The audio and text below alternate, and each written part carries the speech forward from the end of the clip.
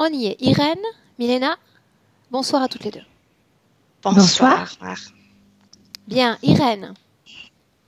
Irène, on a déjà fait les présentations, donc on va pas recommencer. Non. T'écoute. Parle-toi, parle, parle-toi, parle, parle, parle-nous de toi. Ce serait plus français, tu vois, à force de parler polonais. Ou presque. Parle-nous de toi, on t'écoute.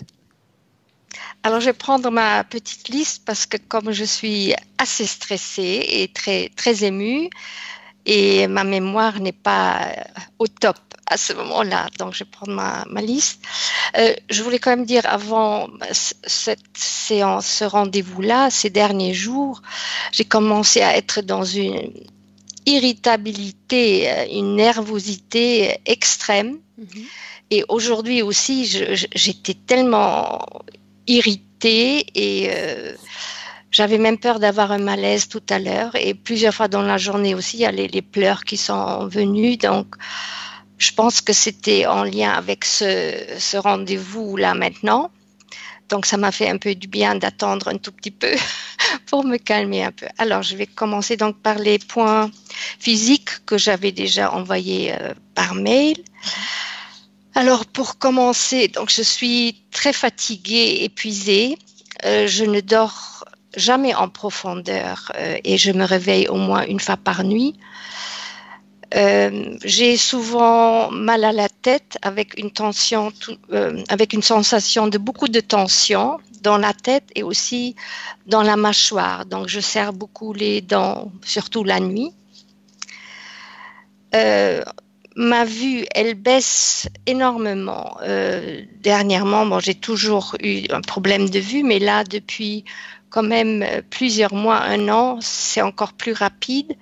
J'ai souvent des kystes sur les paupières ou sur le bord euh, de l'œil, des conjonctivites, euh, une sensation de tension dans les yeux et derrière, au, fond des yeux. Alors j'ai j'ai tous les soirs, avant de m'endormir, un bourdonnement dans l'oreille gauche euh, je suis très très sensible au bruit, les bruits en général, les cris euh, des enfants et des voix trop fortes euh, ou métalliques. Donc ça, ça, ça m'insupporte. alors ce que j'avais pas écrit dans le mail, j'ai eu beaucoup d'otites quand j'étais bébé. Donc je ne sais pas s'il y a un lien avec ça, mais bon, les médecins n'ont rien trouvé. Donc voilà. Euh, ce qui, j'ai une peau euh, du visage et du corps extrêmement sensible et sèche. Par exemple, je ne supporte pas du tout la laine sur la peau, même, même le cachemire, euh, je ne supporte pas. Et parfois, j'ai euh, des poussées d'eczéma et de psoriasis. Quand j'étais euh, adolescente, surtout, j'avais des psoriasis, euh, des plaques, c'était horrible. Donc ça, c'est parti. Mais par exemple, il y a quelques années, j'ai eu des poussées de boutons, de vésicules dans le visage et qui m'ont fait ressembler à un crapaud. Vraiment, mes amis m'ont dit, mais c'est incroyable. Et même Ma dermatologue m'a dit, elle n'avait jamais vu ça. elle m'a dit, mais c'est, vous êtes un cas à mettre dans, le livre euh, parce que c'est exceptionnel. Alors j'ai souffert de ça pendant un an et j'ai trouvé enfin une homéopathe qui m'a trouvé un remède. Et ça c'est intéressant, j'ai pensé à ça après, je l'ai pas mis dans le mail, mais elle m'a trouvé, trouvé un remède qui s'appelle Rana Buffo. Et j'ai cherché, en fait, c'est un extrait du venin des glandes dorsales du crapaud. Donc, j'ai trouvé ça quand même euh, assez euh, surprenant. Bon. Euh, après, j'ai souvent une sensation de froid dans la nuque, tension et des douleurs. Et il y a constamment une ou des cervicales qui sont déplacées et ma kinésithérapeute doit régulièrement les remettre en place. Euh, en 2018, donc l'année dernière, en février, j'ai eu une thyroïdectomie totale parce que je souffrais d'un gros goitre sur le lobe gauche de ma thyroïde et c'était en fait cancéreux. Et euh, on m'a dit encore récemment que c'était apparemment un cancer très rare. Bon. Euh, donc on m'a enlevé ça et on m'avait dit euh, après cette opération je devais être beaucoup mieux parce que j'avais tous les symptômes de l'hypothyroïdie et des nodules, des symptômes classiques fatigue, manque d'élan, irritabilité, tendance à la dépression, manque de concentration, frilosité, etc. Sauf que après cette opération, bon, je suis pas aussi bien que ça. J'ai encore ces symptômes moins forts, mais je les ai encore. Donc euh, voilà.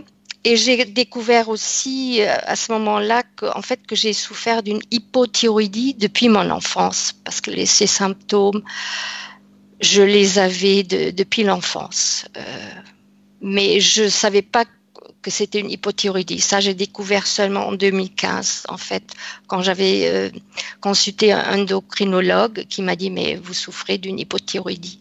Avant, personne, aucun médecin m'a a pu euh, poser ce diagnostic, en fait.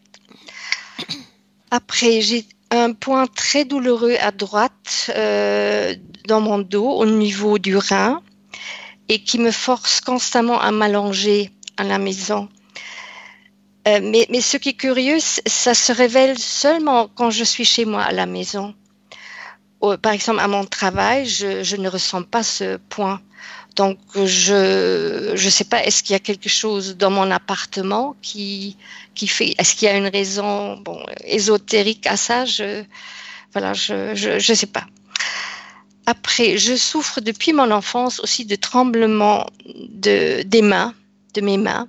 Alors, ce n'est pas un symptôme de Parkinson, ce qui m'ont dit le médecin, c'est ce qu'on appelle un tremblement essentiel. C'est très gênant dans, dans ma vie professionnelle et aussi sociale. Et aussi, depuis quelques semaines, j'ai une, une, douleur au poignet gauche. Au, ça, c'est assez nouveau. Voilà. Donc après, là, j'ai. C'est quoi exactement? Tremblement essentiel. Qu'est-ce que ça signifie? C'est d'origine nerveuse Nerveuse? Oui, apparemment. Mm-hmm. Oui. C'est le système neurovégétatif qui, voilà, ça, ça qui apparemment, euh, je sais pas, c'est pas grave, on me dit, mais c'est quand même euh, un peu gênant. Euh, quand je travaille ou pas, je veux dire, ça se voit que ben, mes mains tremblent et parfois on me dit ah vous, vous tremblez. Donc c'est pas grave, mais ça, ça me gêne quand même et, euh, et ça s'aggrave avec euh, l'âge, ça devient plus fort. Oui. Euh, après, j'ai une digestion très, très, très difficile. J'ai des problèmes d'acidité, de reflux, parfois des nausées, ballonnements, avec beaucoup de gaz j'ai aussi une dépendance euh, au sucre et j'arrive pas à m'en défaire. C'est pas que je mange une tablette de chocolat tous les jours, mais j'ai besoin de, sucre euh, l'après-midi, le soir. Et euh, bon, ça, ça, me gêne, mais je peux pas faire autrement. Et je prends aussi du poids dernièrement, et pourtant je ne mange pas plus qu'avant. Et parfois, je sais même plus quoi manger parce que je digère pas bien. Donc, c'est difficile. Alors, pour la zone génitale, j'ai un grand fibrome depuis très longtemps. Mais ma gynécologue m'a dit il y a déjà quelques années, avec la ménopause, ça va partir euh, tout seul. Donc, on n'a jamais rien fait. Et avant, tant que j'avais encore mes règles, je souffrais énormément d'une endométriose. Donc j'avais des règles douloureuses. C'était vraiment terrible. Euh, pendant mes règles, j'étais presque pas capable de, travailler. Euh, après articulation, j'ai beaucoup de problèmes. J'ai une arthrose euh, très handicapante des, hanches surtout et un peu des genoux. Et ça vient d'un déséquilibre de, ma stature corporelle parce que je je suis née avec euh, euh, à mon pied droit un hallux valgus, vous savez, ces oignons de pied énormes.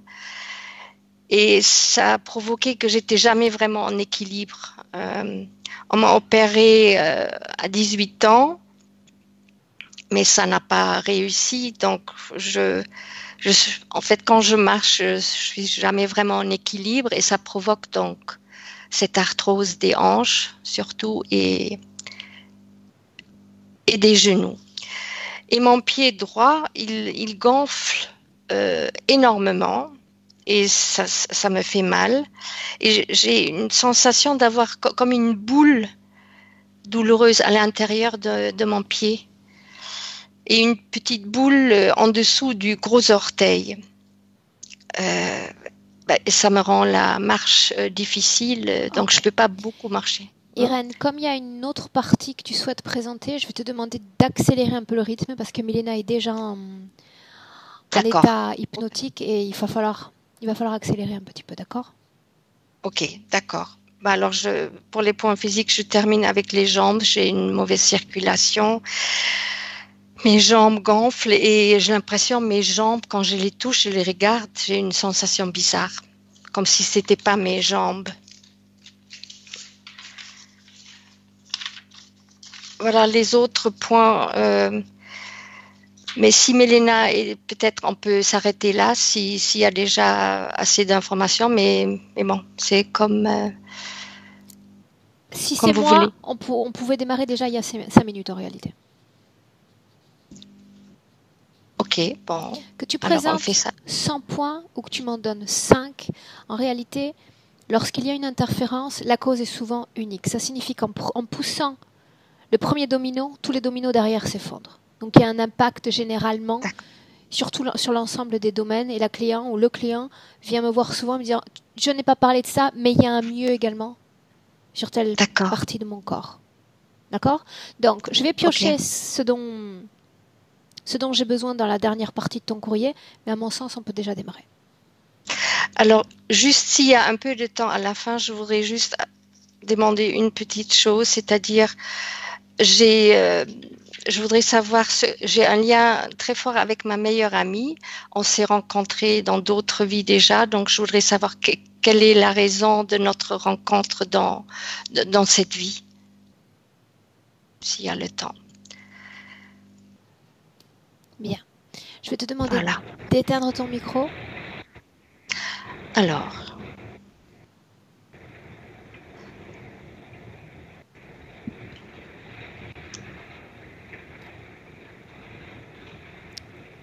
Donne-moi une seconde. Oui, là c'est bon.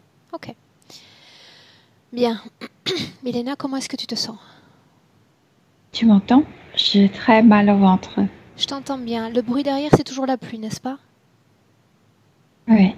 Oui. Ok. Bien, tu as mal au ventre. Cette douleur, elle est liée à toi ou elle est liée à Irène? Non, à Irène. Parce que je me suis connectée avec elle je vois plein de choses mais il y a comme un liquide euh, orange qui bouillonne dans son ventre entre la partie génitale et le nombril, tu sais. Euh, ouais.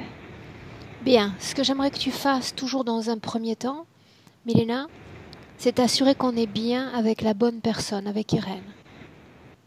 Moi, je sais qu'on est avec elle, mais il est difficile de la reconnaître parce que au début, sous comme, si on peut l'appeler ainsi, sous sa peau éthérique, elle avait une couche complètement métallique, comme si euh, sa double peau métallique. Mais elle, à un moment donné de sa vie, elle voulait se débarrasser de ça. Elle a fait comme fondre ce truc métallique.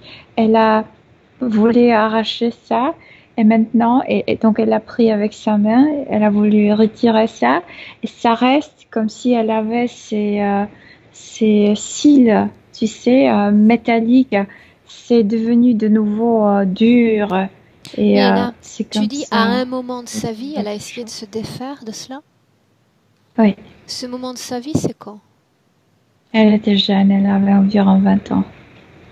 Et la même chose, elle a fait au niveau de sa ceinture. Ça ressort une main, elle a mis ici, elle a voulu retirer, elle ne pouvait pas.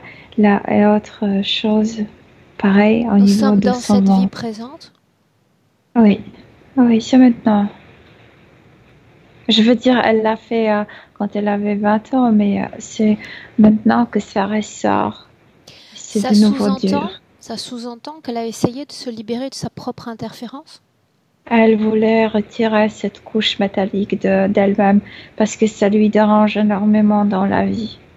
Parce qu'elle ne peut pas bouger proprement, elle n'entend pas proprement parce que ça donne écho intérieur. Elle me dit même de parler plus d'une manière plus douce parce que pour elle c'est plus plus euh, trop fort. une chose. Parmi les éléments non mentionnés par Irène, il y a il y a des événements traumatiques de souffrance justement dans cette cette temporalité, vingtaine d'années. Est-ce qu'il y a un lien entre ce que tu mentionnes et ces événements de vie compliqués?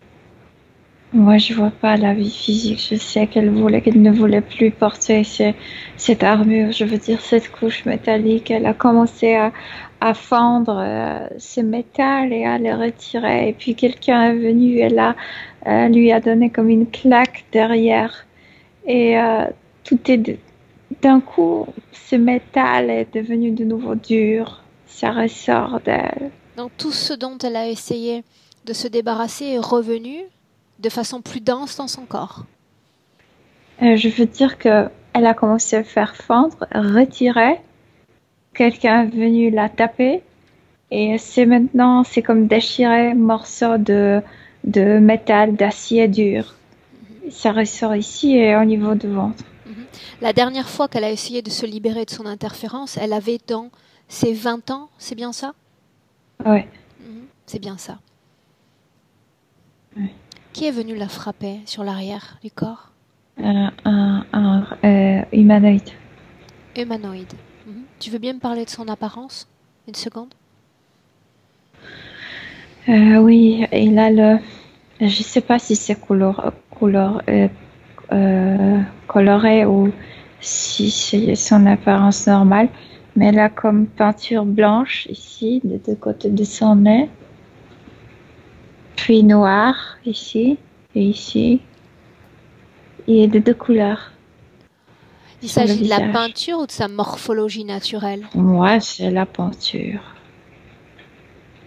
C'est la peinture. Pourquoi chercherait-il à se camoufler derrière ce maquillage? Je sais pas, c'est, cette race le fait ainsi. C'est comme la couleur d'un guerrier. C'est hmm. comme le, les marques, tu sais, de grades qu'on met sur les épaulettes, eux, c'est leur maquillage qui dit comment, quel grade ils ont. Milena est-il plus grand qu'elle, plus petit? Oui, oui, il est plus grand. Plus grand. Mhm. Des cheveux, des poils? On ne voit pas, il porte un casque métallique. Regarde sous le casque. Oui, il a des cheveux. Leur couleur? Noir. Noir. Court, lent? Court. Ses yeux? Aussi foncé, presque noir. Brun, mais presque noir. La couleur de sa peau? Il n'est pas foncé, il est, euh, il est bleuâtre. Bleuâtre? Clair blanc. Je veux dire que comme cadavre, tu sais, gris. Gris. Ouais, un peu comme ça. Bien. Depuis cet instant, alors qu'elle a 20 et quelques années, jusqu'à maintenant, il n'y a pas eu d'autres tentatives de libération de l'interférence? Non, parce que le coup de choc était très fort. Bien. Place le curseur dans notre présent. Dans notre présent. Tu vois toujours ces particules métalliques, c'est bien, c'est bien ça? Tout le corps est couvert et de plus, après ça, elle a obtenu comme un masque pour ne plus pouvoir parler. C'était ajouté. Et puis il y a ces trucs qui ressortent qui provoquent beaucoup de douleur parce que c'est comme si sa partie éthérique était déchirée maintenant. Et elle-même a commencé à faire sortir ça. Et euh, elle a, quand, quand elle a reçu ce coup si fort, elle a, elle était encore comme allumé à l'intérieur, c'est qu'elle a fondé, ce, métal et il y a un trou à l'intérieur dans ce métal. Et c'est qu'elle ne respire ni parle comme par, là. mais par là. C'est comme elle attrapait l'air par le cou. Ça veut dire qu'elle a, elle a provoqué une sorte de déviation de son énergie au niveau de ses organes respiratoires? Oui, elle ne respire pas comme euh, au niveau subtil. Je veux dire que la respiration euh, au niveau physique, c'est le nez, la bouche, etc. Chez elle, c'est raccourci. Comme le nez, la bouche ne, ne prend pas partie euh, énergétique dans la respiration, ça commence par là. Elle fait comme ça quand elle est connectée, en fait, elle est connectée avec son corps physique, donc elle, elle ressent sa, sa, manière, sa façon, de respirer. Ça a eu un impact, cette dérivation énergétique, sur le plan physique? Eh oui, cette euh, armure, parce que je ne sais pas quoi, cette couche métallique, oui, beaucoup, plein d'impact. Comme si elle n'était pas dans sa peau, comme si elle était allergique à sa propre peau ah oui. Bien, on va en parler dans un instant, mais avant cela. C'est lourd, c'est extrêmement Avant de continuer, tu sais, à collecter ces informations, j'aimerais savoir mm. la façon dont elle nous reçoit, la façon dont elle nous accueille, dont elle nous tolère. Mais elle est immobilisée, c'est lourd. Son esprit est-il présent? Oui. Oui, sauf qu'elle est comme, comme ça. Elle ne voit presque pas parce qu'elle a commencé à tirer ici et c'est comme, comme les cils très longs et ça lui couvre maintenant un peu la, vue. Bien. Demande à sa conscience, à sa partie qui est toujours là vivante, vibrante, mm. si elle nous permet cet accompagnement. Oui, bien sûr. D'autres sont-ils déjà venus avant nous? D'autres non, non, celui-là, c'est que je l'ai vu dans le passé, c'est qu'il y a un gris, un gris horrible qui Non, est, non, non, non, je dis à part nous, à part nous et maintenant, dans ce présent, d'autres sont-ils venus? Ah non, pas du tout. Il n'y a pas de permission à venir. Y aurait-il une permission pour nous? Euh, Elle nous a appelés. Elle nous a appelés. Mhm ces situations de grande irritabilité, de nervosité avant la session? Euh, euh, Non, c'est pas avant la session, c'est comme constant. C'est pourquoi j'ai eu tellement mal au ventre. Parce que quand elle a reçu ce coup, c'était comme, ah, tu sais, comme une punition, comment tu oses? Elle a reçu le dernier dans, dans la tête et dans la nuque. Et euh, cette énergie qu'elle a produite pour euh, faire fondre euh, ces métals, quand elle a reçu ce coup, elle a reçu comme une programmation, un ordre. Et euh, cette énergie s'est coincée dans, était comme envoyée en bas et coincée maintenant entre la partie génitale et le nombril. Et ça bouillonne toujours. Il y a un liquide qui, qui est introduit là-bas et ça bouillonne, ça produit beaucoup de problèmes parce que c'est sa propre énergie. Mélena, de quel type de programmation parle-t-on? La punition.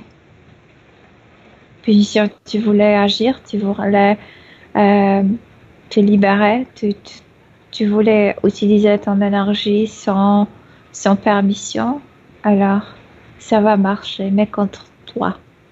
Mélena, dis-moi une chose. Tout est dans ce coup. Parce que c'est choquant, ce coup. Est-ce qu'il y a eu un lien entre ce désir de libération et le fait de se libérer de son corps physique, d'en finir avec la vie? Oui. Oui, elle a commencé à, faire fondre parce que pour elle, ce truc métallique, c'était comme, comme la, la peau. Je veux plus, je peux plus dans, dans cette, je peux plus. Elle a commencé à déchirer une main, la main droite ici, la main gauche dans le ventre. Elle a commencé à retirer. Celui grand est venu derrière elle et lui a fait un, comme un coup immense. Ok. Toujours dans le présent, c'est là que tu vas placer ton curseur, toujours dans le présent. J'aimerais que tu regardes si sa morphologie est humaine. Euh, oui, humaine. Je vois un être humain, oui. Tu vois un être humain. Parle-moi de la production fréquentielle en ce moment. Comment fonctionne son corps? Immobile, que il est difficile d'avancer dans la vie, très difficile, euh, parce qu'il est que tout est lourd. Que son énergie, l'énergie de la liberté, de, de se sauver, de, de, est coincée en elle, ça brûle. Donc cette énergie, ce sentiment, cette émotion existe encore dans son corps? Oui, mais ça marche contre elle. Ça brûle énormément dans le ventre, dans cette zone où c'est coincé. À cause de la programmation? À cause de la programmation, de la punition, oui. Quand elle pense liberté, elle pense alors punition? Quand elle pense liberté, elle sait qu'à cause de la punition, la, la partie de l'énergie qu'elle qu'elle a besoin pour se libérer est coincée et contrôlée par eux. Qu'elle ne peut plus se libérer. Bien. Dans le présent, ce que j'aimerais savoir, c'est s'il y a une fréquence dans son corps qui peut former une barrière de résistance à la bonne réalisation de ce travail. La fatigue, immense fatigue, c'est tout, c'est trop lourd. Comme si elle voulait dire j'en ai marre, tout ça. Bien, Mélena. Pour autant, y a-t-il une fréquence comme la peur, comme la tristesse, comme la colère? Instantanément, on peut produire ça quand ils arrivent, mais maintenant, non. En ce moment, non, seulement l'état de fatigue? Oui. Ah, ah. Tu veux bien? Quand tu es... oui, oui. Tu veux bien me laisser parler avec Irène directement un instant? Oui, mais elle parle bizarrement, elle parle comme avec cette partie, pas avec la bouche. Bien, tes cordes vocales et son énergie. Oui. Laisse-moi parler directement avec Irène. Irène? Irène? Bien, tu vas utiliser mm-hmm. à souhait les cordes vocales que te prête Milena pour me répondre hmm, Parce que ça me fait mal de bouger la mâchoire. Cela ne durera qu'un instant. Ça dépend de toi.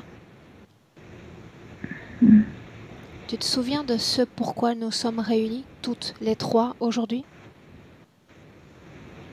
Je veux me libérer.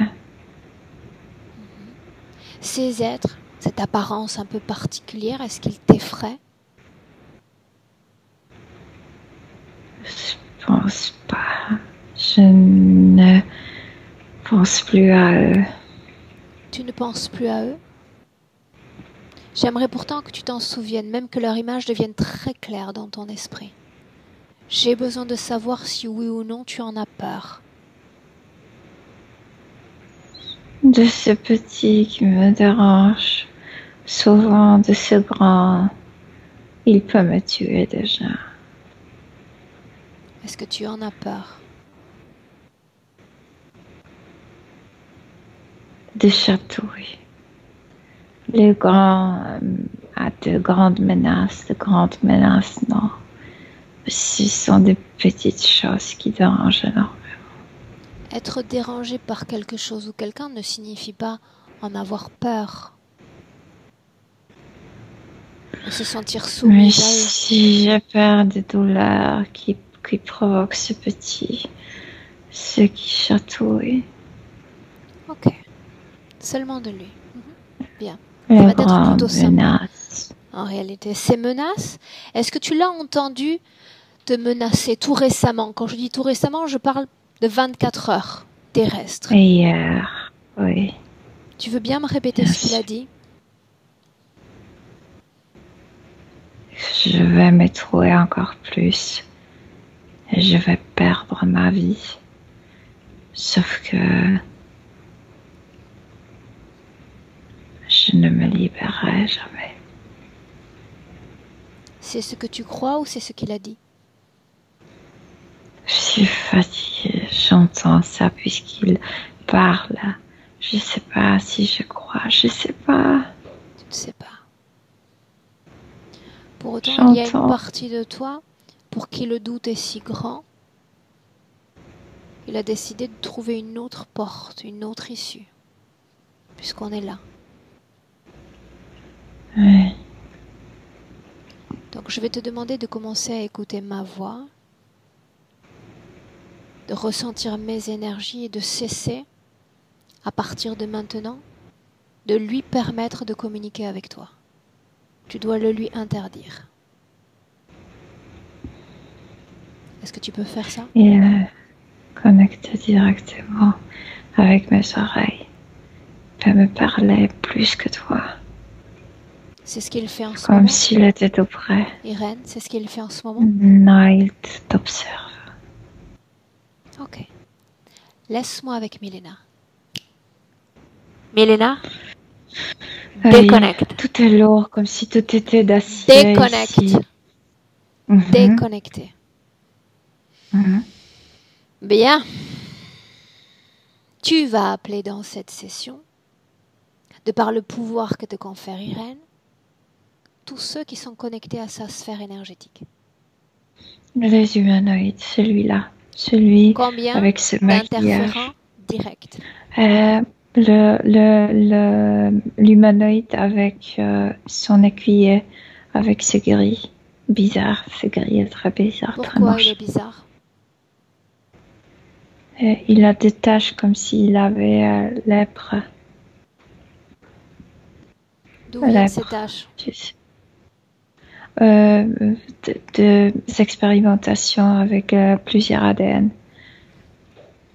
Cet être, de quel ADN est-il composé pour être tacheté euh, La plupart, c'est l'ADN d'un gris, mais comme si c'est pas d'un crocodile, mais pour moi c'est comme des bosses d'un lépreux, mais c'est c'est l'ADN d'un reptiloïde aussi. Bien.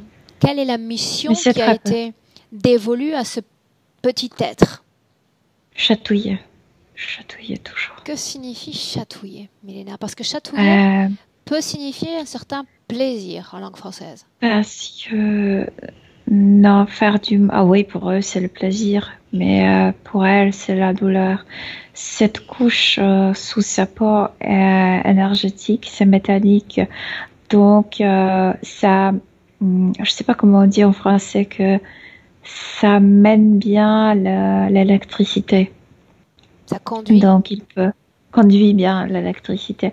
Donc ça influence directement son système nerveux. Par exemple, il peut faire euh, hmm, comme avec une perceuse faire de trous et ça produit de, Donc, tout l'équilibre énergétique du corps s'en voit affecté.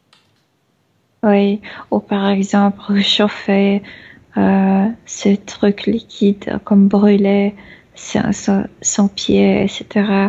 Ça produit tout de suite la, la, douleur dans, dans Donc son cet corps. être, Milena, se dédie à cette couche, à stimuler cette couche chez elle? À stimuler, oui. Mais, euh, mais il est juste comme un ouvrier il n'a pas ses propres idées, il juste obéit. C'est pour ça que je te demandais la mission qui lui avait été dévolue. Donc c'est se concentrer sur cette couche-là et provoquer des perturbations.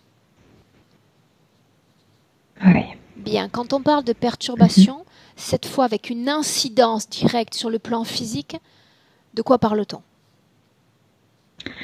Euh, tout, tout d'abord, ce qui bouillonne euh, dans, dans, son ventre, là, tout le système digestif et, le système euh, de reproduction est influencé par cette zone où est coincée sa propre énergie. De plus, derrière, là, au niveau de rein mhm. droit, il y a comme plague, il y a euh, câble noir et euh, ils introduisent cette, ce liquide qui, en, se mélangeant avec cette énergie coincée, c'est énergie à elle, ça réchauffe énormément, ça bouillonne, ça dérange. Quelle est la fonction de ce liquide qu'ils injectent dans son corps? Euh, c'est comme l'opposition, c'est que la puissance en puissance et ça provoque des éruptions comme un volcan, volcan, à l'intérieur. Ouais. Bien. Est-ce qu'il y a un effet direct sur l'énergie autour de la gorge? On l'a parlé tout à l'heure. Sa maladie, cette hypothyroïdie? Euh, Oui, parce que ici, c'est trop. Oui, c'est trop. C'est qu'elle respire mal. En fait, elle, elle soutient mal sa respiration physique euh, au niveau subtil. Bien. Allons-y sur les points physiques, Milena. Quand on parle de crispation à la mâchoire, euh, le truc après, les trucs, ce, truc qui la maintient muette. Pardon, l'autre chose, qu'est-ce que tu as dit? Non, mais c'est bon. Le bourdonnement dans l'oreille au moment de s'endormir. Euh, deux choses. Tout d'abord, euh, cette, euh, cette couche métallique constituée avec écho à, l'intérieur, ça produit. C'est horrible d'entendre comme elle entend. Tout est trop fort pour elle. Et de plus, au niveau des oreilles, il y a où, physiquement on a des oreilles, il y a des chips, il y a, il y a quelque chose qui, qui la. Mais pourquoi cette région des oreilles comme surstimulée, surexagérée. Il y a d'autres sens sur un corps humain. Pourquoi particulièrement les oreilles chez elle? ben Parce que quand tu, en fait, tu, tu hmm, c'est plus influençable. Tu peux regarder quelque chose, mais ce sont les mots, euh, les idées qui t'influencent le plus. Donc, euh, c'est l'entendre, c'est la contamination de sa partie mentale et euh, contrôle de la partie mentale. Alors attends qu'on comprenne bien. Quand tu dis entendre puis percevoir ces informations, on parle de ce qu'elle entend à un plan, sur un plan subtil? Parce que tu peux voir plusieurs, euh, plusieurs scènes, par exemple. Mais si, tout est muet, muet, tu vas pas l'entendre la scène. Par exemple, tu peux voir un père ou un grand homme qui euh, secoue un enfant tu le vois seulement. Et euh, quand tu entends, tu peux entendre, mais fais attention, tu pourras entrer sur la rue et, te, tuer, non? C'est ça change euh, la, façon de percevoir. Ou tu peux entendre cette scène, je vais te tuer, sale, euh, sale gosse, tu sers à rien. Donc voir, c'est comme de ne pas avoir toute l'information c'est l'idée, c'est le mot qui sont beaucoup plus influençables. Je sais pas si j'ai bien expliqué.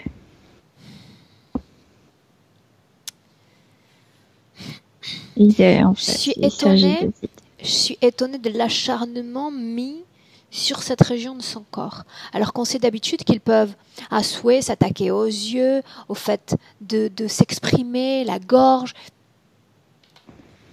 Là, c'est comme si. Oui, c'est parce qu'elle voulait enlever ce, euh, cette carapace métallique. C'est parce que ça lui dérangeait tellement dans l'eau. Et, euh, il a ajouté cette chip encore. Ces chips que tu mentionnes, quelle est leur, leur fonction? Comme le micro, comme les casques qu'elle entend directement ce qu'il envoie. Ah, donc c'était ça que je te demandais précédemment. Donc il parle, il envoie directement des informations à son corps C'est collé à cette couche, oui, c'est collé à cette couche métallique, mais, c'est sa connexion directe à. Dis-moi une chose, je suis étonnée que depuis que nous ayons commencé ce travail, il n'ait pas susurré quelques, quelques mots à ses oreilles. Si, si, si, si. Elle disait que non. Mais si. Qu'a-t-il dit? Si, après tu as dit de, de, ça ne marchera pas parce que ça, son énergie de l'action, de puissance est enfermée et c'est la punition. Ça ne sortira jamais d'elle. Et si ça sort, c'est déjà contaminé par l'impuissance, donc ça ne marchera plus. Ok. Si je te parle maintenant de ces problèmes de peau particuliers, cette peau comme, tu sais, peau de crapaud, c'est comme ça que Irène nous en a parlé. Euh, c'est l'autre, c'est ce petit qui, qui, euh, qui, qui comme chatouillait, qui l'a touché, qui l'a contaminé, etc. donc la couche métallique joue avec la couche métallique, il la contamine avec euh, ces comme bactéries, si on peut dire, mhm. avec euh, ces énergies. Bien. Milena? Milena, j'aimerais parler directement avec cet humanoïde. Donne-moi son mhm. nom. Oh, c'est difficile. Urbuk, Urbuk, quelque chose comme ça.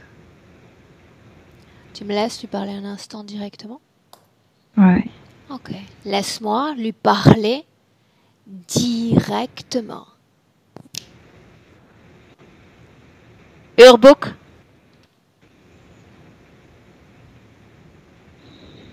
Je sais que tu es là. Réponds. Mm. C'est ça que tu appelles une réponse hmm.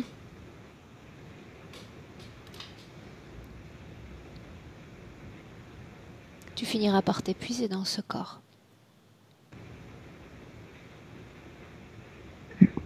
Elle peut t'oppresser de l'intérieur, orienter son énergie et t'écraser complètement. Libre à toi de rester là sans parler si tu le souhaites. J'ai toute mon après-midi devant moi.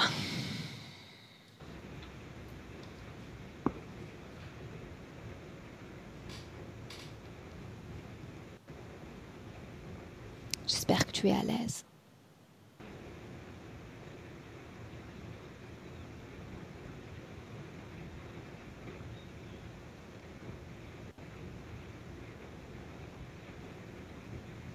Très à l'aise.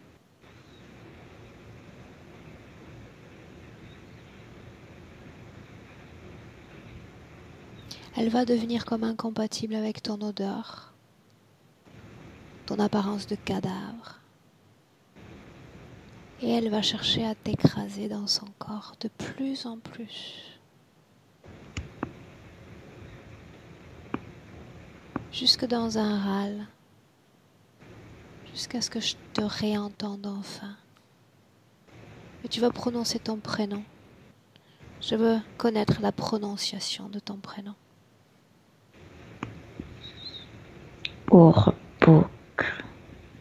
Est-ce que ça a une signification concrète? On est lié avec Ur. Qu'est-ce que Ur Notre chef. Oh, donc tu n'es pas le chef. Je suis dirigeant de cette zone de ce département. Comment s'appelle le département Toi, Et je n'ai envie de ne rien diriger. Ni rien, ni personne. Les humains exploités. C'est le nom de ton département, les humains exploités? Oui. Mhm. Vaste projet, n'est-ce pas? Vaste. Vous êtes nombreux. Qu'est-ce qu'on peut exploiter chez Irène, cette humaine? Les sens, les réactions, l'intuition. Es-tu satisfait de tes recherches sur elle? Oui, en bloc. La plupart. Pourquoi une telle punition alors que qu'elle cherche à se rebeller, à évacuer? Qui t'a dit c'est la punition? J'ai entendu une punition. Mais tu peux me donner ta version des faits, je l'écoute avec grand plaisir. Des expérimentations. Tu as établi une sorte de programmation proche de ce qu'on appelle un réflexe pavlovien. Irène mm. va se libérer et immédiatement il y a comme un processus d'auto-sabotage en elle très astucieux. J'apprécie cette technologie que tu as mis en place. Je suis fascinée même. Je suis dirigeant de ce département. Je l'ai compris, c'est pour ça pas que c'est un grand honneur de te parler, d'en apprendre de toi. D'en apprendre de toi. Qu'as-tu d'autre à m'apprendre d'intéressant sur les miens, sur les, les humains? Tu n'as rien à apprendre. J'ai tout à apprendre. Vous ne comprenez rien. Explique-moi. Donne-moi une chance. Tu n'as rien à apprendre, j'ai dit. Moi, je pense au contraire que j'ai tout à apprendre de toi. D'abord, je ne connais pas. Je ne connais pas ta caste. Autrement dit, un humanoïde avec une apparence vitreuse, avec une apparence de cadavre, je la découvre aujourd'hui et tu mmh, attires mon intérêt. C'est elle qui te voit comme un cadavre. un cadavre. Nomme le nom de ton espèce. On est tous ours, on vient tous d'ours. Tu sais que ce nom ne me parle pas. Nomme ton espèce afin que je la comprenne. Tant pis pour toi. Tu me parles de caste et je te parle d'espèce.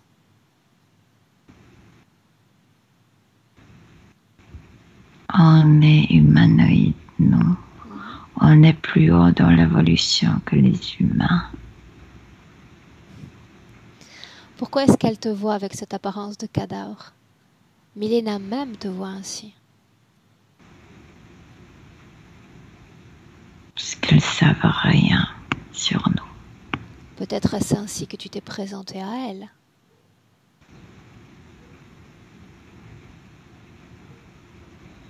Qu'est-ce qui te rend si lent? Qu'est-ce qui te rend si lent? Je communique. Tu communiques peu, tu es peu loquace, on dirait que tu t'épuises dans ce corps et que tu manques d'énergie, que tu manques d'alimentation presque. Le chef serait-il mal nourri? Tu es mal informé. On ne se nourrit pas, on expérimente. Autrement dit, tout ce projet autour de ces humains interférés n'a pas un but de survie alimentaire. Est-ce que tu manges l'essence L'essence Non, mais je l'utilise quand même. C'est comme nous. Qu'est-ce qui te permet de rester près de ma terre, près des humains, si tu ne te nourris pas d'eux? Terre. Ma terre, mon espace, là où mon corps évolue. Je ne parle pas de la dimension ou du plan dans lequel toi tu es. Physiquement, je suis là, toi pas. Non. je suis chez moi. C'était jamais notre but d'être là physiquement. Pourquoi la Terre alors? D'autres plans, d'autres univers Pourquoi ici? Bon endroit pour exercer la destruction. On parle de destruction maintenant? Personne ne s'occupe de la terre.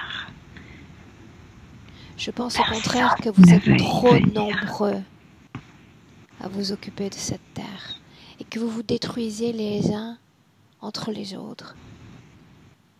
Tu parles d'expérimentation sur un corps humain sans te nourrir. Tu me parles de carburant. Mais si demain je veux aller faire une mission d'expérimentation, j'ai besoin moi-même de me sustenter, de pourvoir à mes propres besoins. Comment est-ce que tu t'y prends si ce n'est à travers l'énergie de l'homme De quoi te nourris-tu L'essence, c'est tout. Ne joue pas avec les mots. Si tu nommes essence, je nomme fréquence humaine. Et au final, c'est la même chose. La même chose. Mais c'est l'essence, on ne la mange pas. De quoi tu te nourris alors On ne se nourrit pas. Non, tu ne te nourris pas Non.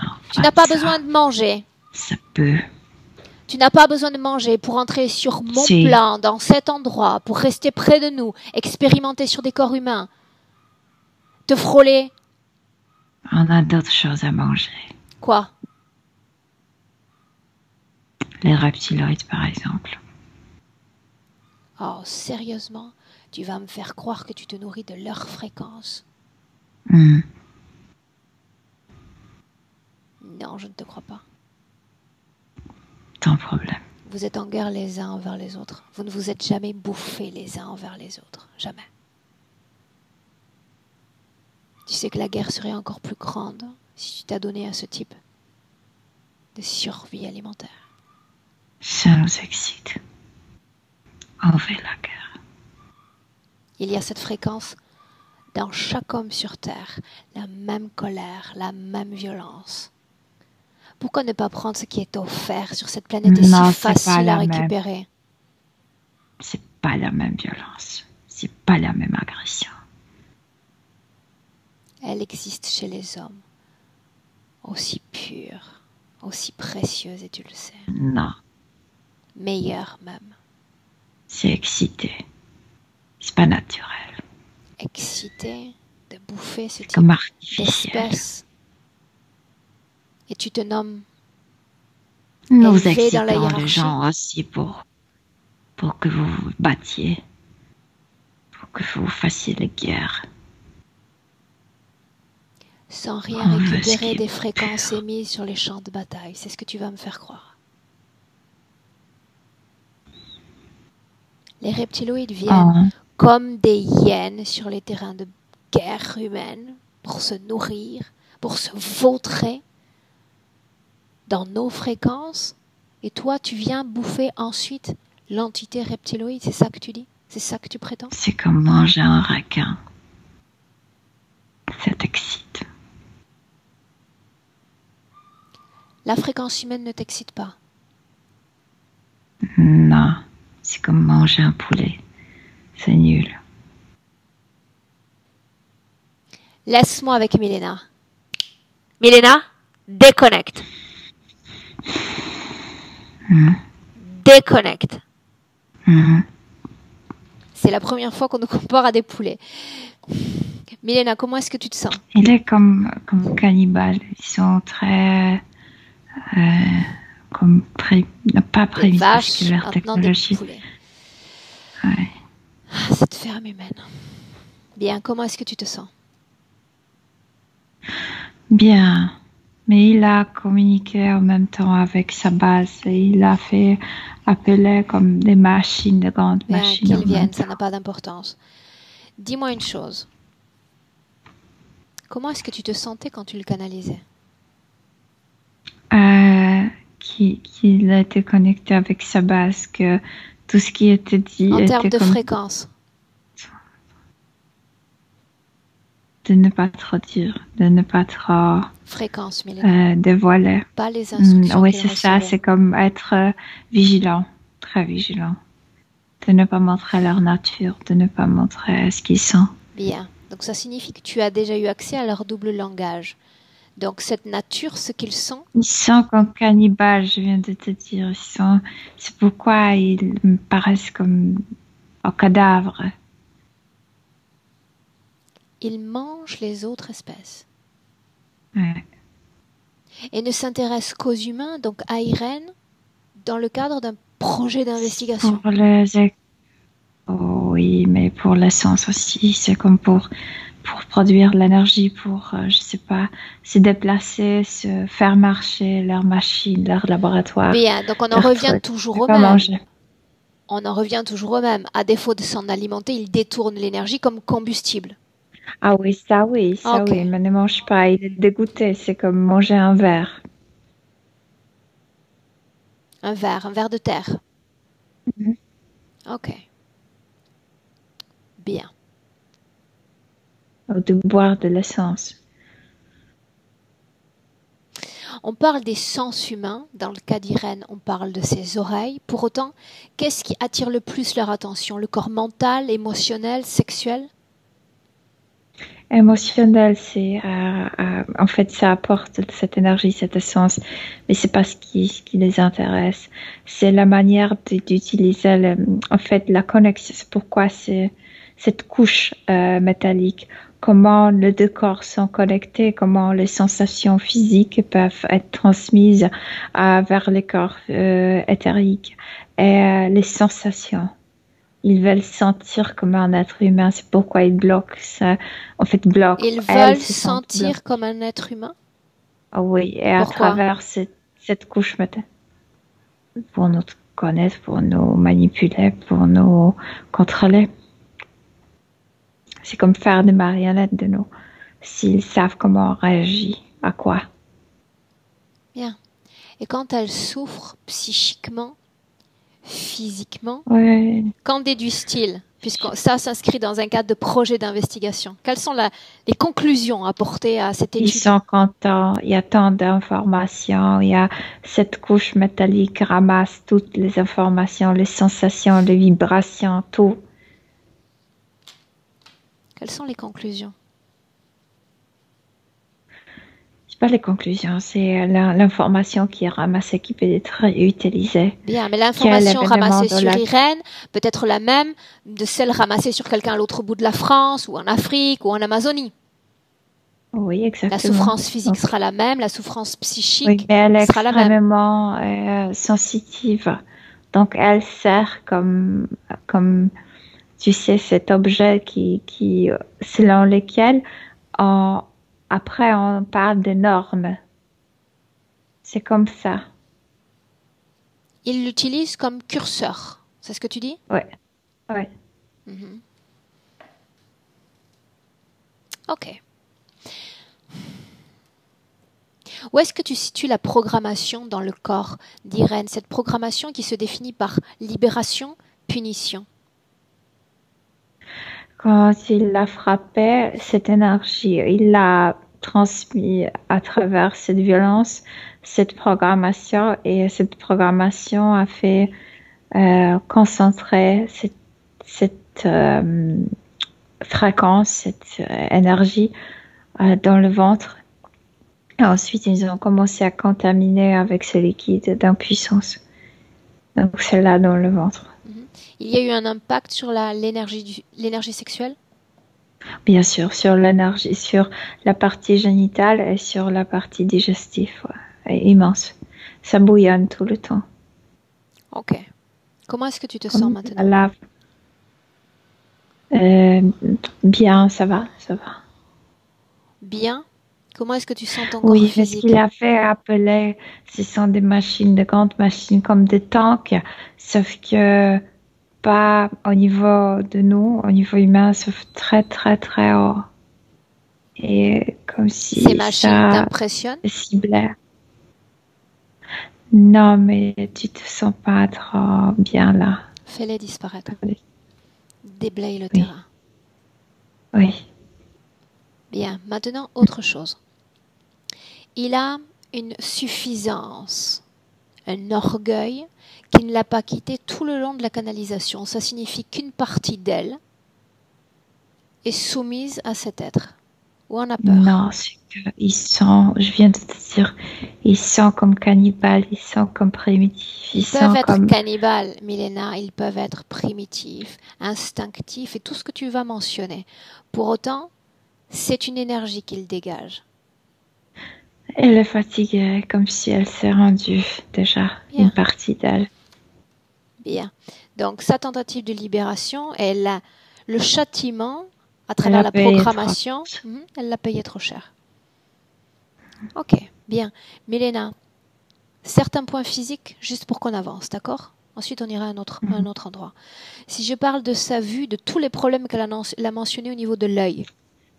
Euh, je viens de te dire, c'est ce qu'elle a retiré. Et ça, c'est, c'est redevenu euh, dur c'est comme le, cil qui sort de son front et lui couvre le, yeux partiellement la vue. Mhm. Si je mentionne les reins, point douloureux au niveau du rein, seulement quand elle est chez euh. elle, pas à l'extérieur. Alors, il y a deux choses. Cette zone où, la, bouillonne son énergie avec l'énergie d'impuissance, et puis la, la prise, euh, le câble par lesquels euh, ce liquide est introduit dans la partie euh, droite et, euh, et, ça, ça fait du mal vraiment. Mhm. Si je mentionne le fibrome dans sa partie génitale? Et aussi ce liquide, aussi cette, ce blocage de son énergie. Les tremblements des mains? Ça, c'est lié avec cette couche métallique. Elle est elle est euh, immobilisée et cette couche métallique marche très, en fait, elle est liée comme directement avec son système nerveux. Le, les extractions, le, le, membre sont immobilisés, ça produit une immense tension, donc euh, le main tremble. Bien. Si je Puis l'autre arrive avec cette perceuse et il perce exactement l'avant-bras. Mhm. Un lien avec sa dépendance au sucre? Et La recherche de de s'apaiser, de, tu sais, la, recherche d'un moment de, du calme, mais c'est physique. C'est physique. Si je mentionne ces hum, douleurs aux articulations, elle a mentionné l'arthrose. Milena? Euh, Immobilisation et tension du corps, la lourdeur de cette couche métallique. Déséquilibre physique? Bien sûr, et spécialement quand ce, ce gris arrive pour la chatouiller, pour, euh, pour lui danger. Et, euh, oui. Et, euh, et, et, autre chose, parce que ça a deux, sens. Trop lourd, cette couche, donc elle n'avance pas trop trop bien. Et autre chose que ces casques produisent que les sons à l'intérieur marchent comme écho, comme si un mot, elle écoutait comme cinq, six fois. Et ça déstabilise l'équilibre avec, tu sais, ces trucs qu'on trouve à, côté des oreilles. Euh, Elena, regarde les capacités cognitives, intellectuelles, même si on sait qu'il y a un déséquilibre dans tout le corps elle n'est pas, tu sais, tellement. Euh, il n'y a pas autant de programmation au niveau mental. C'est que elle est fatiguée, donc elle ne se concentre pas sur ce qui se passe dans sa vie. Elle est juste fatiguée à ce niveau-là. Bien. Elle a connu de nombreux déplacements dans cette vie présente. Il y a il y a, tu sais, cette, sensation d'être déraciné. Pour autant. Exactement, c'est ça ce que je voulais te dire. C'est pas le déplacement parce qu'elle ne se déplace pas. On peut la déraciner la mettre ailleurs. Mais c'est comme si ça se passait euh, sans sa permission, sans sa volonté. C'est comme si quelqu'un l'a dirigée. On te ici. Qu'est-ce qu'il fait qu'elle ne se sente pas à l'aise avec son prénom? Il y a comme une confusion autour du euh, lieu d'appartenance. Moi, je sais pas, mais elle me montre cette couche. C'est euh, c'est comme si cette, ce nom était euh, synonyme de d'acier. Mais je sais pas comment elle le fait. Irène, acier. Mais ça, je sais pas d'une langue, je pense. Ok. Tu me laisses parler un instant directement avec, avec Irène à nouveau Oui. Ok, alors laisse-moi lui parler directement. Irène Oui. Qu'est-ce qu'on fait? Deux options. On continue à être soumis à ces bourreaux, à leurs expérimentations? Non, on les dégage. Je veux me reposer. Tu veux te reposer. Mais pour autant, tu sais que si tu bouges encore, Irène, si tu bouges encore, et si tu tentes cette libération, tu vas être puni encore. Tu te souviens de la punition? Si tu me libères, il n'arrivera pas à me. J'aimerais, j'aimerais, j'aimerais vraiment, vraiment te libérer mais je ne peux pas le faire. Je suis venue parce que tu m'as appelé. Ce simple appel me fait penser, cette humaine est prête, prête pour comprendre ce mécanisme de l'interférence, prête pour comprendre son pouvoir à l'égard d'une interférence. Autrement dit, il n'y aura pas de claque cette fois, il n'y aura pas de châtiment. Le moment où tu vas te libérer, il n'y aura pas il n'y aura pas derrière un conditionnement ou quelque chose qui te fait croire que tu vas payer pour essayer de te libérer. Cette liberté est à toi. Ce territoire énergétique est à toi. Il suffit simplement que tu t'en souviennes. Tu es chez toi, dans ton espace. Tu n'es pas obligé de partager. Tu n'es pas obligé d'être l'objet d'une expérimentation. Tu n'es pas obligé. Pas si tu ne le veux plus. Pas si tu ne le veux plus. Moi, je ne veux plus. Bien, il y a eu assez de souffrance dans ton corps, dans ta vie psychique et dans ton corps physique, ne penses-tu pas? Oui. Trop de souffrance partout. Bien. Maintenant, j'ai besoin de comprendre, en dépit de cette programmation qu'ils t'ont infligée sévèrement, après cette tentative de libération, ce qui a formé la résistance. Il y a toujours quelque chose qui va contre toi, quelque chose dont il profite. Fatigue. Je me sens trop lourde, trop immobile pour agir, trop unie. C'est trop lourd. Quand tu as voulu quitter ton corps physique, c'était lié à ce que tu vivais aussi dans ces espaces énergétiques? Mais c'était pas si lourd avant. C'était pas si lourd avant. Ils ont fait quelque chose que c'est devenu comme dix fois plus lourd. Dix fois plus lourd. Bien. Avant de t'accompagner, parce que je ne vais pas te libérer, tu vas te libérer toi-même. Et je me répète, il n'y aura pas de punition derrière cela tu vas envoyer des images à Milena. Tu les envoies déjà. Le premier moment où tu as rencontré ces êtres, le premier contact avec ces êtres, laisse-moi avec elle. La guerre. Bien, alors continue. Je mourrai pendant la guerre. Non, je veux avec Milena. Tu es trop fatiguée. Envoie télépathiquement les images. Tu te fatigueras moins à occuper un corps physique. Laisse-moi avec Milena. Mm. Milena, déconnecte. Mm-hmm déconnecte. Mhm. Simple transmission, sinon elle va s'épuiser, on n'arrivera pas au bout. Oui. Premier moment, premier instant où il y a une confrontation avec son système interférent. Pendant la Deuxième Guerre mondiale, il y avait une attaque, euh, il y avait comme une sorte d'une bombe qui l'a déchiré. Où sommes-nous? Euh, Moi, je dirais que dans le nord de la Pologne. Qui est-ce? Un garçon, une fille, un homme, une femme? Non, une femme. Une femme. Il, a, elle a 40 ans.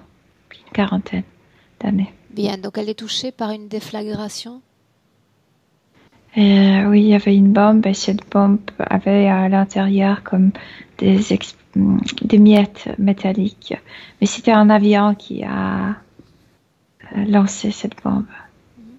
Cet avion, il porte quelle bannière? Allemand, allemande. Ok. À ce moment-là, que fait-elle? Où est-elle? Elle, elle faisait, tu sais, quand il y avait l'alarme que les avions s'approchent, elle faisait descendre les enfants euh, au, sous, au sous-sol. Elle est revenue pour, je sais pas, elle voulait revenir pour attraper quelque chose comme nourriture, boisson, je sais pas quoi. Et la bombe est tombée sur le bâtiment. Pourquoi est-ce qu'elle est avec tes enfants? J'étais ses enfants. Ses enfants, combien est-ce qu'il y en avait?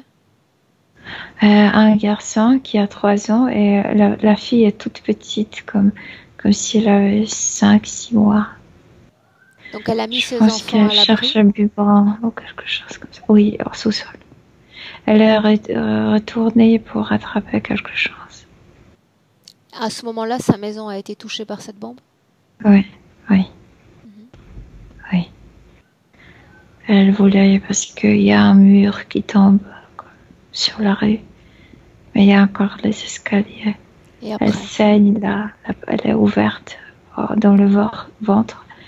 Elle essaie de descendre vers les enfants comme si elle ne ne, se permettait pas dans sa tête cette idée qu'elle est en train de mourir. Non, elle ne voulait pas croire. Quelle partie, de son, corps, quelle partie de son corps a été atteinte euh, Le ventre. Exactement là où maintenant ça bouillonne. Le ventre. Les intestins. Elle meurt sous le coup? Écoute, euh, elle descend quelques escaliers, mais euh, ses entrailles ressortent. Elle est comme déchirée ici. Elle meurt, oui, après une, deux minutes. Les enfants, que va-t-il advenir d'eux? Je sais pas, je vois pas l'histoire des enfants après. Demande-le lui, elle, elle le sait. La petite va mourir. Le garçon va survivre. Pourquoi la petite meurt? Étouffée par le cendre, parce que le bâtiment, les sous-sols euh, n'étaient pas écrasés, ne se sont pas effacés, mais la moitié du bâtiment qui, qui, a, qui était détruit a produit beaucoup de, de poudre de cendre. Oui, de cendre. L'enfant s'est étouffé. On est dans une vie passée. Est-ce qu'on est dans la vie passée, celle qui a précédé celle d'Irène? Oui. Oui. On est dans la vie qui l'a précédée. Bien. Ces bombes, ces miettes de bombes portent leur énergie. Comme si c'était fabriqué sur Terre, mais aussi avec leur énergie. Bien. Bascule sur un plan énergétique bascule sur un plan énergétique. Elle s'est déjà comme imprégnée de cette énergie. Bascule sur un plan énergétique. Comme si ces miettes qui ont, qui ont comme coupé son ventre portaient les informations, comme, comme s'il y avait des signatures. C'est nous. Ta, ta mort, c'est notre art. Notre art. Mhm. Comme les artistes. Mhm. Et euh, c'est euh, extrêmement cruel parce qu'il y a des enfants en bas. On est Et toujours se pose sur un la plan question. Oui, elle se pose la question qui a pu le faire? Qui a pu le faire? C'est quoi ces entités qui le font? Quelqu'un répond à ces questions? Oui, bien sûr. Bien sûr, ils sont partout. Ils sont partout. Qui vient pour elle? Celui, celui avec euh, la peau mm, noir, blanc, la, le visage euh, en couleur. Mhm. Continue. Maquillé.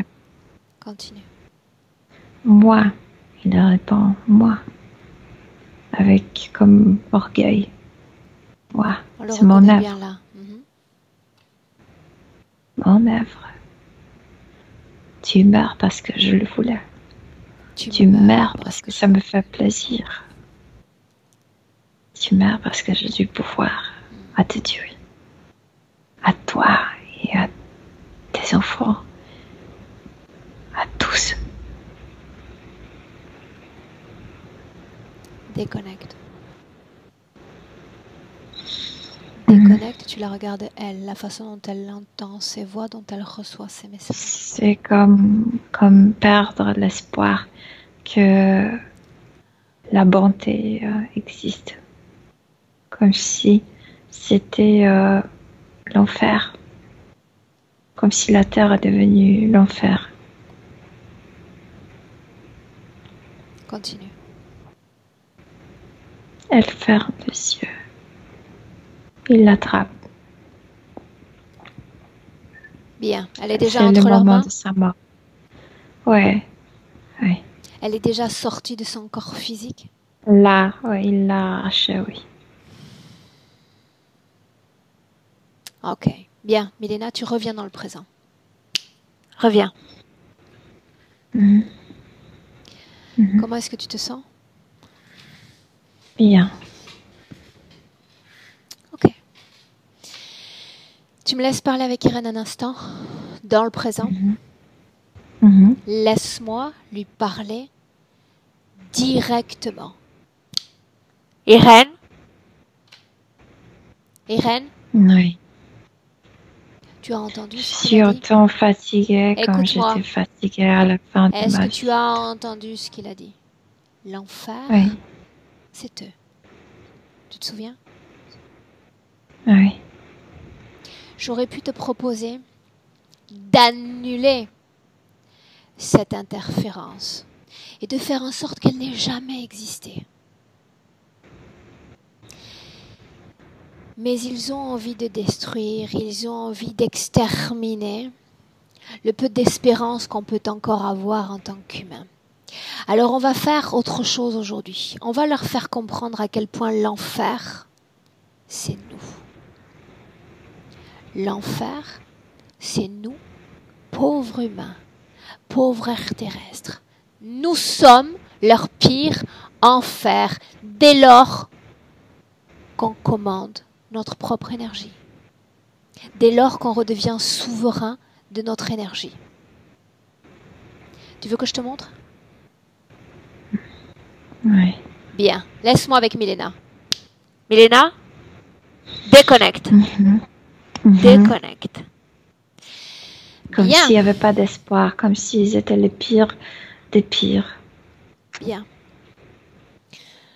L'enfer, c'est nous. L'enfer, c'est moi aujourd'hui. Par le pouvoir qu'elle nous confère, dis-moi combien d'entités, à l'instant où je te parle, sont connectées directement ou indirectement à elle Directement, seulement lui avec euh, indirectement.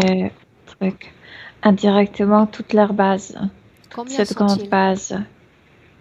Pardon, parce qu'il pleut, je, t'entends. Combien sont-ils? 50 000. 50 000. Bien.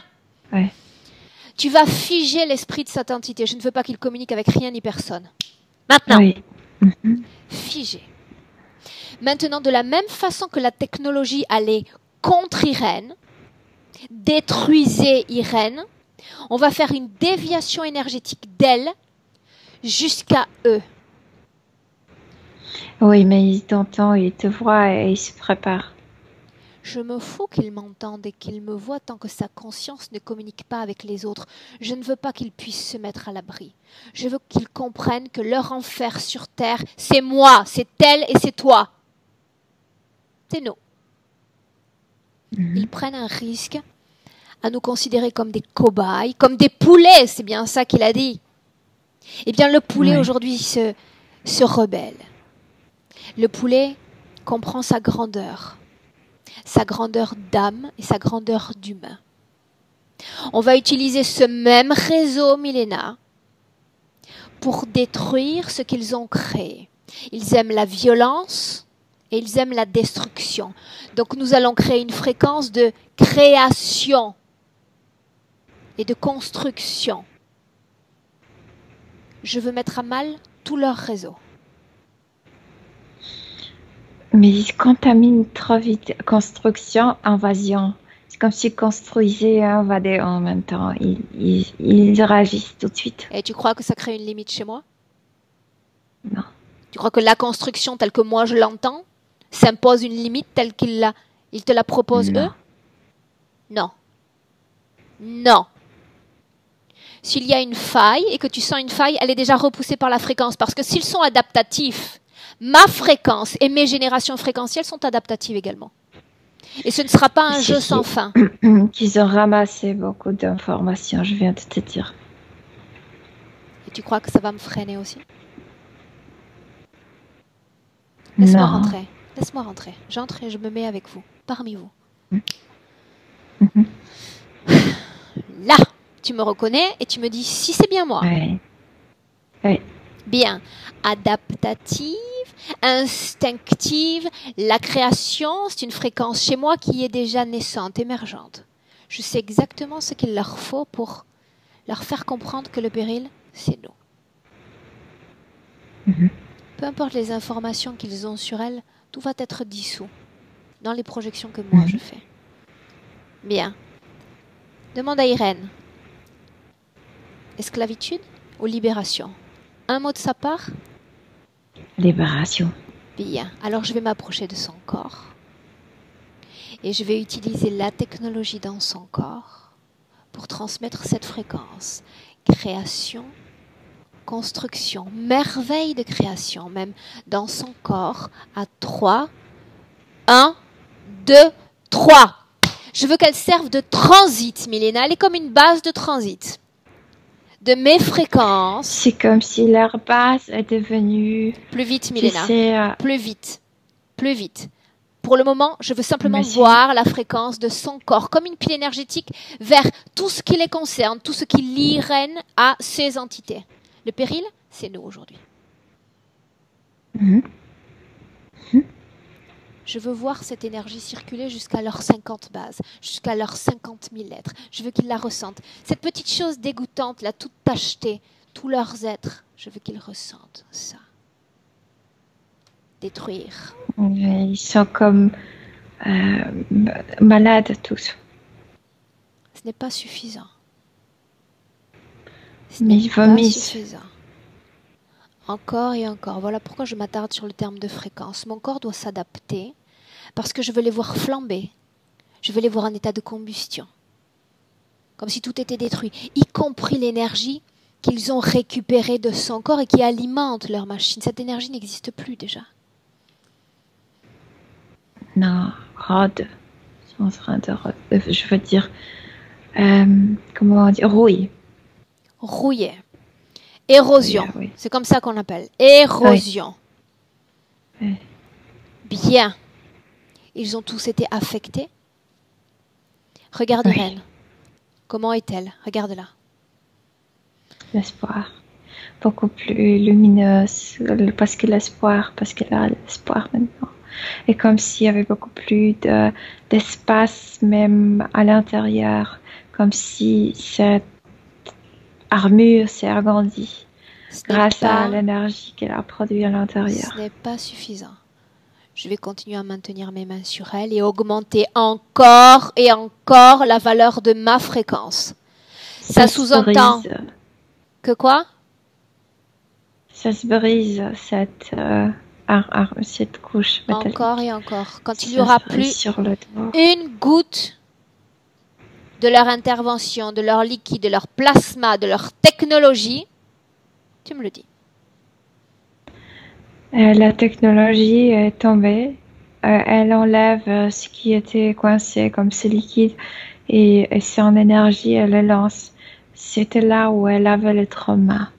C'est pourquoi ça, ça marchait si bien. Elle a rejeté ça parce qu'elle a dit qu'elle n'a plus besoin de ça.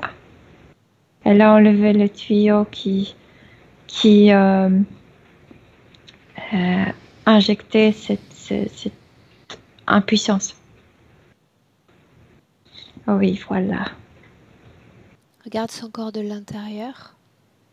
Cellule après cellule, organe après organe. Elle est devenue claire, lumineuse.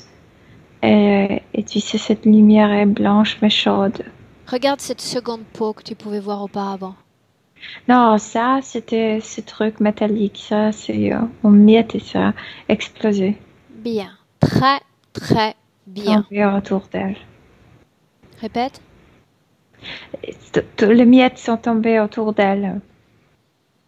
Elles doivent disparaître. Mhm. Je ne veux plus voir cette technologie ici, ni dans son corps, ni à l'extérieur de son corps. Mhm. Il y en a assez de souffrance, il y en a assez. Assez. Et maintenant, elle comprend pourquoi son, son ouïe était si fragile les derniers moments de, de, sa, de sa vie. C'est qu'il y avait une explosion, c'est qu'il y avait ce bâtiment qui s'effaçait, qu'il y avait des bruits énormes? Bien. Comment est-ce que tu te sens? Bien. Mieux Oui. Ok. Où sont les entités? Euh, sont comme euh, comme s'ils avaient mort de, de, de, l'estomac. Ils sont par terre, comme malades. Demande à Our et à tous les Our, puisqu'ils vraisemblablement ils portent tous le même nom, s'il a envie de dire quelque chose peut pas. Non. non. Parle avec lui. D'esprit à esprit, qu'est-ce qu'il voudrait encore expérimenter sur Irène? Rien. Non? Elle est là, elle est tout à lui. Pourquoi est-ce qu'ils ne la veulent plus? Ils qu'ils ont toutes les informations. Ils n'ont plus Oh, qu'ils regardent bien pour voir s'il y a des informations. Qu'il consulte ses bases de données. Voyons s'il a encore ces informations. Non, tout est, tout est détruit. Il n'y a plus rien. Alors pourquoi cette prétention encore?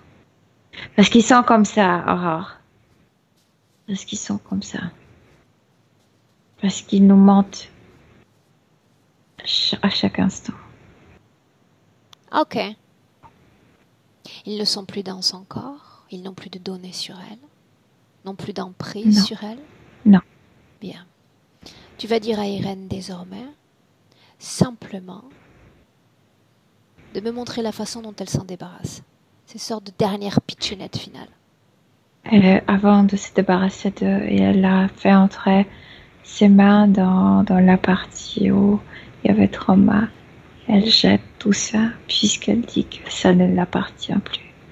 C'était pas sa guerre. pas. Elle ne veut plus participer à ce type de choses, à ce type de jeu. Et puis elle, elle dit que tout est terminé. Alors ils doivent quitter définitivement, complètement sa sphère énergétique. Elle ne partage plus son espace. Terminé. Déconnecté. Quand elle l'aura mhm. fait, tu me le dis. Oui. Oui, quoi? Oui. Elle est partie. Elle a tout annulé et elle est partie. Comment? Suis-là. Ne va pas rester sur place. Elle est devenue mince, elle est devenue légère, comme beaucoup plus rajeunie. Comme si elle pouvait danser. En fait, elle fait parce que tous ses membres de, son corps étaient trop immobilisés. Donc, euh, elle fait bouger ses, hanches, ses mains, tout. Mais elle rit en même temps en le faisant, comme si elle dansait, mais c'est pas la danse. Demande-lui comment est-ce qu'elle se sent ainsi. Bien, elle se sent elle-même. Bien. Tu vas lui demander non seulement de faire ses mouvements énergétiques à l'intérieur, mais également à l'extérieur de son corps, afin que les parois de son corps physique, de ses cellules physiques ressentent cette énergie. Partout. De façon uniforme, équilibrée. Partout. Mhm. Tout le, comme le mm, souvenir qui était trop lourd sont partis. Elle a tout nettoyé. Bien. Très bien. comment Elle dit qu'il ne peut plus parler à travers elle, qu'il ne peut plus lui parler. Regarde ses oreilles. Non, tout est bien. Tout est bien. Bien, il est très important qu'elle fasse ce jeu de mouvements énergétiques intérieurs et extérieurs aussi, pour aider les cellules, toutes ces, toutes ces couches énergétiques aussi à récupérer leur plein potentiel. Il y aura la restauration au niveau du ventre. Oui. Ah, bien. Ok. Bien. Maintenant, ce qu'on va faire, c'est lui demander avec ses conditions présentes de se projeter dans son futur, à court terme, sur Terre. Il y a certes une légèreté, légèreté mentale, mais aussi légèreté dans le corps. Et euh, comme toute une nouvelle qualité de vie. Bien, avec un impact certain sur son corps physique, sa santé. C'est de ça dont on parle? Oui, légèreté, oui, beaucoup plus, beaucoup plus légère, oui. Mhm. La façon de laisser son empreinte dans ce monde, de prendre la parole, de s'affirmer socialement? Regarde. Mais elle est, elle est très bien dans son travail. Elle est bien comme ancrée, elle est bien, comme, elle est décisive. Décisive. Demande-lui si elle a un message direct pour elle-même. Elle s'écoute, son corps physique. Que il faut détendre le cœur physique. la mâchoire, les omoplates. Plusieurs parties du corps physique ont besoin de se détendre. Qu'elle respire, qu'elle se détend. Bien. Milena, Mhm. tu vas saluer Irène. Cet espace est le sien. Elle peut commencer à créer. Toute cette lumière, toute cette énergie lui appartient désormais. Elle crée, elle a déjà créé un endroit magnifique pour elle. Bien. Qu'elle la garde précieusement, cette énergie. Tout est à elle désormais. Mhm. Milena, je vais t'inviter à revenir dans le présent. Je t'ordonne même de rentrer dans le présent. Quand je vais dire 3, tu vas ouvrir les yeux, Milena, et tu seras pleinement de retour. À 1, Milena, tu vas te déconnecter maintenant complètement de tous et complètement de tout. À chaque seconde, tu sens comme palpable cette déconnexion car tu es plus à l'écoute de tes propres informations, de tes propres fréquences et de tout ton corps physique. Sereine, détendue et parfaitement tranquille. À deux, toujours dans cet état de complétude et de bien-être absolu et merveilleux. Tu vas commencer à pouvoir bouger tes extrémités, tout ton corps même. Parce qu'à trois, bienvenue dans le présent, Milena. Oui, je suis là. L'obscurité, la pluie. Je me demandais si tu allais Oui. revenir, Milena. Et on n'est pas encore en hiver. Comment est-ce que tu te sens? Bien, très bien. Ah, Ok. Irène, un clic sur la première pastille et on te récupère également, vocalement. Voilà. Là, ça y est.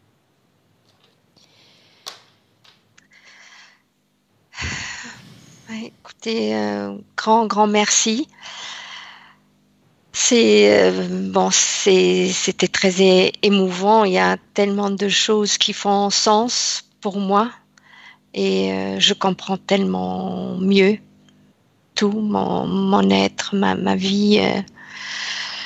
Donc vraiment, je vous remercie de vraiment un grand merci à toi, Aurore, et de toi, Milena.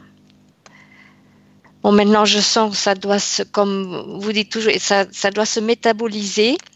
Donc, ça va prendre, je pense, un peu de temps. Mais je me sens déjà euh, soulagée et plus, plus légère. En tout cas, aussi, j'ai ce sentiment d'espoir que, que j'avais perdu. C'est vrai, comme, euh, comme tu avais bien senti, oui. Bien. Oui, voilà, donc je dois souffler maintenant un peu et euh, voilà, digérer ça, métaboliser. En tout cas, je vous remercie vraiment toutes, toutes les deux euh, énormément. Et puis on a respecté notre engagement, on a mis un peu de sauce polonaise dans cette session. Oui. Absolument. Bien. Irène, cette session, est-ce que tu voulais la maintenir privée? Est-ce que tu voulais qu'elle soit partagée avec d'autres? Euh, je pense que, si vous êtes d'accord, je pense qu'il y a des points intéressants euh, par rapport à cette technologie de cette autre euh, race ou espèce. Donc, euh, et comme remerciement à vous deux, je, on laisse comme ça. Vous pouvez la, la mettre sans floutage. Sans voilà. Bien. Bravo, bravo, madame. Ouais. Ouais, bravo à vous. Merci. Donc, euh, Bien. voilà. Irène, je te garde une, se- une, une minute en ligne, d'accord? Tu ne coupes pas. Milena, merci pour ton Non. travail. Restez là. Et belle soirée, Merci parce que c'est déjà, il fait déjà sombre là-bas. Oui, ça commence. Ça commence. Oui. Bien.